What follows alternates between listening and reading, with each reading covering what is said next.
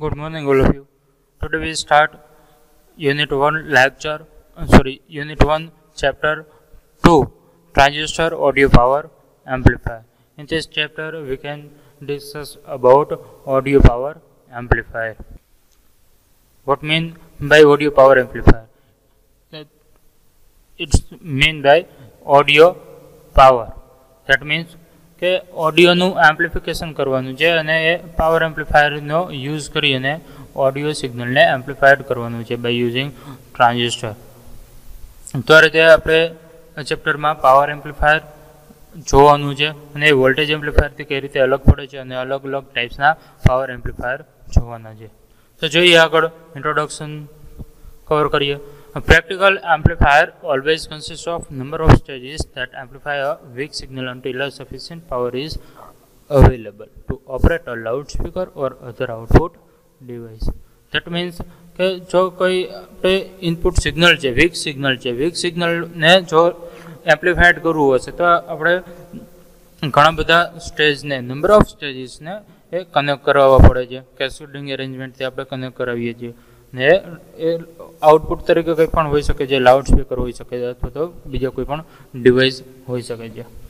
Few The first few stages in the multi-stage amplifier have the function of only voltage amplifier amplification.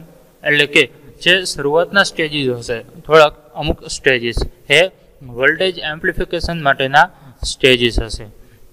And the last stage is design to provide maximum power power અને જે last stage હશે last stage માટે ખાસ last stage જે છે, એ last stage એ શાના માટે design થયેલું છે ટુ પ્રોવાઈડ મેક્સિમમ પાવર એટલે કે મેક્સિમમ આઉટપુટ પાવર મળે. એના માટે જે છેલ્લું સ્ટેજ છે, એ સ્ટેજ ડિઝાઇન થયેલું હોય છે. This final stage is known as power stage તો જે છેલ્લું સ્ટેજ જે મેક્સિમમ પાવર પ્રોવાઈડ કરવા માટે યુઝ કરવામાં આવે છે, એ સ્ટેજને આપણે કહીએ છીએ power stage power amplifier is mean to raise the power level of the input signal શેના માટે યુઝ થાય છે? પાવર લેવલને રાઇઝ કરવા માટે. એટલે કે પાવર એમ્પ્લીફાયરનો યુઝ મેઇન છે એ પાવર લેવલ જે ઇનપુટ સિગ્નલ છે ઇનપુટ સિગ્નલના પાવર લેવલને રાઇઝ એટલે કે ઊંચું કરવા, વધારવા માટે ઉપયોગ કરવામાં આવે છે. In order to get large power at the output, it is necessary that the input signal voltage is large. એટલે કે જો આઉટપુટમાં લાર્જ પાવર જોતો હશે તો એના માટે ઇનપુટ સિગ્નલના જે વોલ્ટેજ છે એ પણ લાર્જ હોવા જરૂરી છે. તો જ એ થઈ શકશે. ધેટ્સ વાય એટલા માટે in an electronic system a voltage amplifier a voltage amplifier always precedes the power amplifier that means કે વોલ્ટેજ એમ્પ્લીફાયર હંમેશા પાવર એમ્પ્લીફાયરની પહેલાં જોડવું પડે છે. કારણ કે વોલ્ટેજ લેવલ જો પ્રોપર હશે, તો જ પાવર એમ્પ્લિફિકેશન થશે અધરવાઇઝ થશે નહીં. એટલા માટે the power amplifier are called large signal amplifier એટલા માટે પાવર એમ્પ્લીફાયરને લાર્જ સિગ્નલ એમ્પ્લીફાયર તરીકે પણ આપણે કહીએ છીએ. આગળ જોઈએ. An amplifier amplifier system consist of signal pickup transducer followed by small signal amplifier, a large signal amplifier and output. તો શેની વાત કરી છે કે amplifier system consist of signal pickup transducer એટલે કે એમ્પ્લીફાયરના આગળના ભાગમાં શરૂઆતના ભાગમાં સિગ્નલ પિકઅપ ટ્રાન્સડ્યુસર જોડેલું હશે. મતલબ કે સિગ્નલને પીક કરશે એટલે કે ઉપાડશે. મતલબ કે કોઈ ફિઝિકલ ક્વોન્ટિટી હોય એનામાંથી જે ઇનપુટમાંથી આઉટપુટ આવે છે એ સ્મોલ અમાઉન્ટમાં છે તો એને એ ટ્રાન્સડ્યુસર એ ફિઝિકલ ક્વોન્ટિટીનું ઇલેક્ટ્રિકલ ક્વોન્ટિટીમાં લઈ આવશે ત્યાર પછી એ જે ઇલેક્ટ્રિકલ ક્વોન્ટિટીમાં કન્વર્ઝેશન થાય છે, એ સ્મોલ સિગ્નલ હશે અને ફરીથી એમ્પ્લિફિકેશન વોલ્ટેજ એમ્પ્લિફાયરમાં આવશે અને ત્યાર પછી લાર્જ સિગ્નલ એમ્પ્લિફાયર એટલે કે પાવર એમ્પ્લિફાયરને જશે અને ત્યાર પછી એ આઉટપુટ ટ્રાન્સડ્યુસરમાં આપશે અને આપને ફિઝિકલ ક્વોન્ટિટી દેખાશે The transducer is used to convert one form of energy into another type. ટ્રાન્સડ્યુસરનું કામ શું છે કે એક પ્રકારની એનર્જીને બીજા પ્રકારની એનર્જીમાં કન્વર્ટ કરવાનું. તો એ મેઇન ટ્રાન્સડ્યુસરનું કામ છે. ત્યાર પછી આગળ જોઈએ કે ટ્રાન્ઝિસ્ટર ઓડિયો પાવર એમ્પ્લીફાયર કઈ રીતે કનેક્શન કરવામાં આવે છે, કઈ રીતે જોડવામાં આવે છે. તો એની વાત કરીએ transistor amplifier which raise the power level of the signal that have audio frequency that have audio frequency range is known as transistor audio power amplifier તો જે ટ્રાન્સ, જે ટ્રાન્ઝિસ્ટર એમ્પ્લીફાયર છે, એ સિગ્નલનું પાવર લેવલ ઇન્ક્રીઝ કરે છે કે જે સિગ્નલ ઓડિયો ફ્રિક્વન્સીનું હોય, તો એને, તો એ ટાઈપના એમ્પ્લીફાયરને ટ્રાન્ઝિસ્ટર ઓડિયો પાવર એમ્પ્લીફાયર કહીએ છીએ. તો એના માટેનો એક બ્લોક ડાયાગ્રામ બેઝિક ડ્રો કરેલો છે.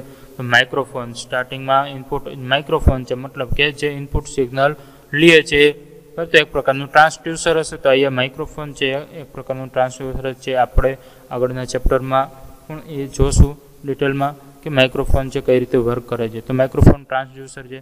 ત્યાર પછી એ તમારું સિગ્નલ ઇનપુટમાં લેશે અને એનું વોલ્ટેજ એમ્પ્લીફાયરમાં કનેક્ટ કરવામાં આવે છે. તો ધારો કે સ્ટેજ વન છે. ત્યાર પછી સ્ટેજ વનમાંથી એ ફર્ધર આગળ જાય છે સ્ટેજ ટુમાં અને ત્યાર પછી એ સ્ટેજ ટુ પણ વોલ્ટેજ એમ્પ્લીફાયર છે.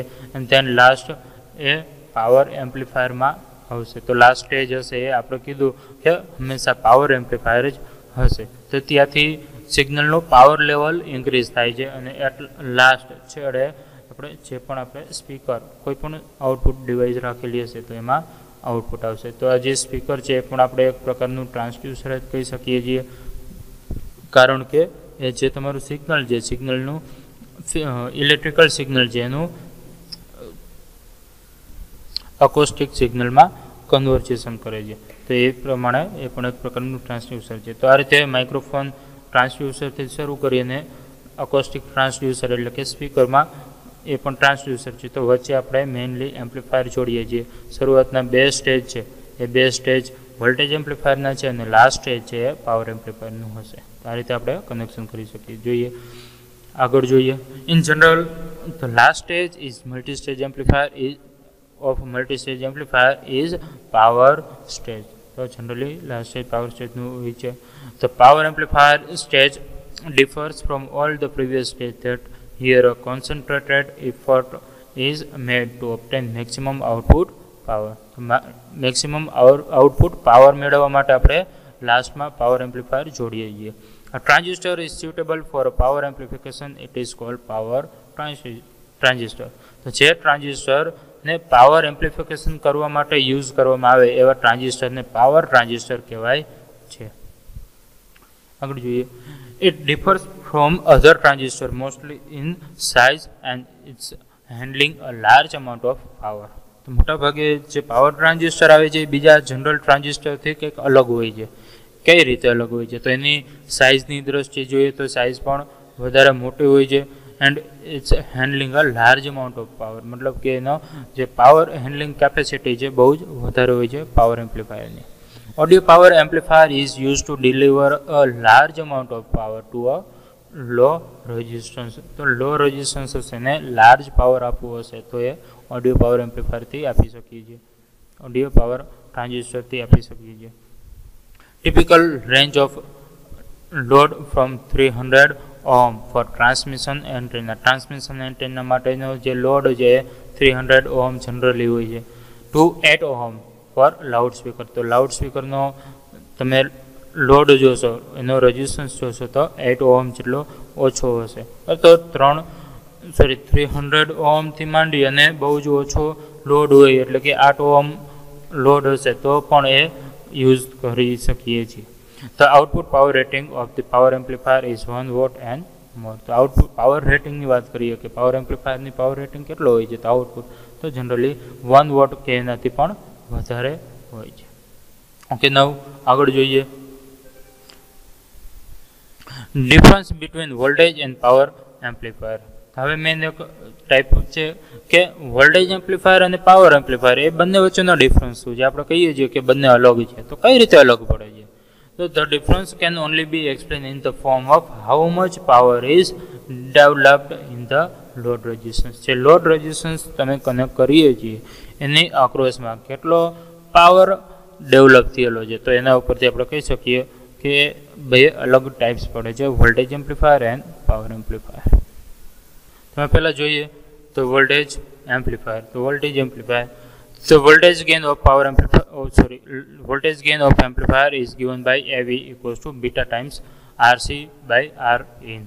એના માટેનું ઇક્વેશન છે. To achieve high voltage amplification the following features are incorporated in such amplifier તો અમુક ટાઈપના પેરામીટર આવશ્યક છે જો વોલ્ટેજ એમ્પ્લિફાયર બનાવવું હોય તો. તેમાં પહેલું જોઈએ તો ટ્રાન્ઝિસ્ટર વિથ હાઈ બીટા એટલે કે સોથી વધારે generally greater than hundred is use in the circuit તો હાઈ બીટાનો યુઝ કરવો પડે. Otherwise those transistor are employed which have thin base અથવા તો જે ટ્રાન્ઝિસ્ટર યુઝ કરીએ જેનો બેઝ થિન હોવો જોઈએ, તો બંનેનો એક જ મતલબ નીકળશે કે બીટા હાઈ હોવો જોઈએ. Second point the input resistance R in should be quite low compare to the collector load RC તો ઇનપુટ રજિસ્ટન્સની વેલ્યુ જે હશે, એ ઓછી હોવી જોઈએ compare to the collector load RC third point relatively high load RC is use in the collector આરસીની value generally high હોય છે. આરસીની વેલ્યુ જનરલી હાઈ હોય છે. To permit this condition voltage amplifier are operated at low collector current તો generally one મિલી એમ્પિયરની રેન્જમાં જ. એ ઓછા કરંટે એ વોલ્ટેજ એમ્પ્લીફાયર વર્ક કરે છે. ત્યાર પછી જ પેરામીટર પાવર એમ્પ્લીફાયર માટે આપણે જોઈએ. Power amplifier delivers large amount of power and has to handle large current.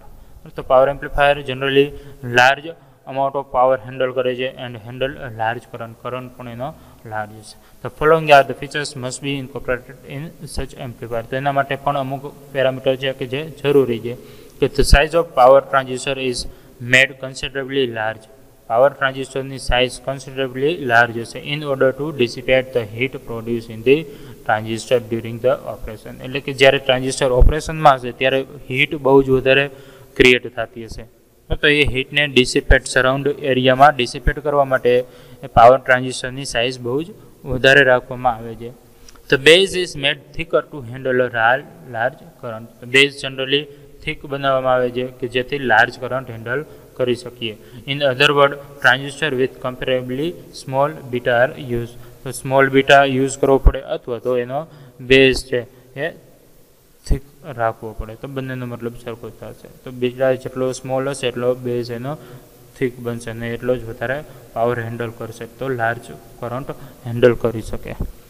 And third પોઈન્ટની વાત કરીએ, તો transformer coupling is used for impedance matching તો એ પણ ઇમ્પોર્ટન્ટ છે. ટ્રાન્સફોર્મર કપલિંગ આગળ જોયું એ તો ટ્રાન્સફોર્મર કપલિંગ જનરલી યુઝ કરવામાં આવે છે. ઇમ્પિડન્સ મેચિંગ કરવા માટે. ઓકે નાવ કમ્પેરિઝન જોઈએ કે શું પેરામીટર છે કે જે આપણે ધ્યાનમાં રાખવા પડે છે. ક્યાં ક્યાં પેરામીટર છે. તો particular first beta beta generally voltage amplifier માટે હાઈ હોય છે. પાવર એમ્પ્લીફાયર માટે લો હોય છે. એની વેલ્યુ વેલ્યુ પણ સાથે ઇન્ડિકેટ કરાવેલી છે. જે જનરલી હંડ્રેડથી વધારે હશે વોલ્ટેજ એમ્પ્લીફાયર માટે બીટા પાવર એમ્પ્લીફાયર માટે ફાઇવ ટુ ટ્વેન્ટી જનરલી હોય છે બીટાની વેલ્યુ અહીંયા યુનિટ લેસ છે એ પણ ધ્યાન રાખવું બીટા ત્યાર પછી આરસીની વાત કરીએ તો વોલ્ટેજ એમ્પ્લીફાયર માટે વેલ્યુ આરસીની હાઈ હોય છે generally four to ten kilo ohm and power amplifier માટે લો હોય છે generally five to twenty ohm તેના આપણે કપલિંગ તો કયો કપલિંગ યુઝ કરવામાં આવે છે? જ્યારે વોલ્ટેજ એમ્પ્લીફાયર બે વોલ્ટેજ એમ્પ્લીફાયર જોડવા હોય તો કયા કપલિંગથી જોડીએ છીએ? તો યુઝ્યુઅલી આરસી કપલિંગ યુઝ કરીએ છીએ વોલ્ટેજ એમ્પ્લીફાયર માટે પાવર એમ્પ્લીફાયર માટે ટ્રાન્સફોર્મર કપલિંગનો યુઝ કરવામાં આવે છે. નેક્સ્ટ છે ઇનપુટ વોલ્ટેજ તો જનરલી વોલ્ટેજ એમ્પ્લીફાયર માટે લો હોય છે. અ ફ્યુ મિલીવોટ બિકોઝ એ ડાયરેક્ટ સિગ્નલ લેતું હોય છે. જ્યારે પાવર એમ્પ્લીફાયરમાં ઓલરેડી વોલ્ટેજ એમ્પ્લીફાયર પાસેથી સિગ્નલ આવે છે. એટલા માટે એના વોલ્ટેજ જે હશે એ ઓલરેડી હાઈ થઈ અને આવશે. એટલા માટે જનરલી એના વોલ્ટેજ બેથી ચાર વોલ્ટેજ જેટલી રેન્જના હોય છે. ધેન કલેક્ટર કરંટ આઈ સીની વાત કરીએ તો પાવર એમ્પ્લીફાયર માટે સોરી વોલ્ટેજ એમ્પ્લીફાયર માટે કલેક્ટર કરંટ લો હશે જનરલી વન મિલી એમ્પિયરના જ્યારે પાવર એમ્પ્લીફાયર માટે કલેક્ટર કરંટ હાઈ હોય છે greater than hundred milli ampere power આઉટપુટની વાત કરીએ તો વોલ્ટેજ એમ્પ્લીફાયર માટે પાવરનું એમ્પ્લિફિકેશન નથી થતું, એટલા માટે એ પાવર એમ્પ્લીફ સોરી વોલ્ટેજ એમ્પ્લીફાયરમાં પાવર આઉટપુટ ઓછો હોય છે, જ્યારે પાવર એમ્પ્લીફાયરમાં વધારે હોય છે. આઉટપુટ ઇમ્પિડન્સની વાત કરીએ તો આઉટપુટ ઇમ્પિડન્સ વોલ્ટેજ એમ્પ્લીફાયરમાં જનરલી બાર કિલો ઓમ જેટલો હોય છે ટ્વેલ્વ કિલો ઓમ જેટલો હોય છે જ્યારે ઇમ્પિડ આઉટપુટ ઇમ્પીડન્સની વાત કરીએ તો એ પાવર એમ્પ્લીફાયર માટે ટુ હંડ્રેડ ઓમ જેટલો હોય છે. વોલ્ટેજ ગેનની વાત કરીએ તો વોલ્ટેજ એમ્પ્લીફાયરમાં વોલ્ટેજ ગેન સારો મળશે, જ્યારે પાવર એમ્પ્લી પાવર એમ્પ્લીફાયરમાં વોલ્ટેજ ગેન ઓછો મળશે. એ જ રીતે પાવર ગેનની વાત કરીએ તો વોલ્ટેજ એમ્પ્લીફાયરમાં પાવરનું ગેઇન થતું નથી, એટલે કે બહુ જ ઓછો છે વેરી લેસ છે, જ્યારે પાવર ગેઇન પાવર એમ્પ્લીફાયર માટે વેરી હાઈ હશે. બરાબર? તો બહુ જ વધારે જેવું આપણે કહી શકીએ. Then after power dissipation capacity તો less than point five volt તો પાવર ડિસિપેશન બહુ જ ઓછું થાય છે. કેના માટે? તો વોલ્ટેજ એમ્પ્લીફાયરમાં એમાં પાવર ડિસિપેશન ન થતું પણ પાવર ડિસિપેશનની વાત કરીએ પાવર એમ્પ્લીફાયર માટે સારું થાય છે. તો પોઈન્ટ ફાઇવ વોલ્ટેજ જેટલું એમાં પાવર ડિસિપેશન જોવા મળે છે. એન્ડ એપ્લિકેશનની વાત કરીએ કે ક્યાં યુઝ કરીએ છીએ? તો વોલ્ટેજ એમ્પ્લીફાયર જનરલી ઇનિશિયલ સ્ટેજમાં યુઝ કરીએ છીએ, જ્યારે પાવર એમ્પ્લીફાયર જનરલી ફાઇનલ સ્ટેજમાં યુઝ કરવામાં આવે છે. તો આ રીતે આપણે વોલ્ટેજ એમ્પ્લીફાયર એન્ડ પાવર એમ્પ્લીફાયરનો ડિફરન્સ કરી શકીએ છીએ. Okay thank you